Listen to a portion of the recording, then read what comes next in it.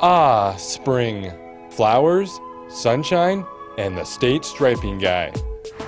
My name is Ed. I stripe roads in the spring and summer so you can see where you're going in the fall and winter. Each year, April through October, we stripe more than 4,000 lane miles. It takes about 16 gallons per mile.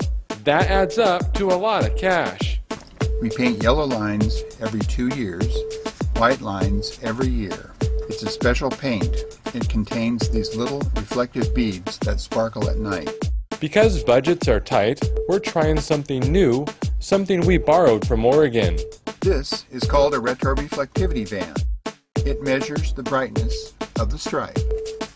It feeds data into this computer and we can see there's still some brightness left, so we don't need to stripe, and that saves money.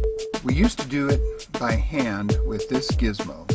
You would have sections that you would go out onto and you would just wait for a break in traffic and you go out there and you would take an average of four shots and it would average it out there for you and that was your mark that you would get. This band allows us to move faster, measure more, we don't close lanes, and it's safer for everyone. So when you see this sign, know that WashDOT spends your money wisely and be sure you don't drive over our fresh lines. It costs everyone money and makes your car dirty.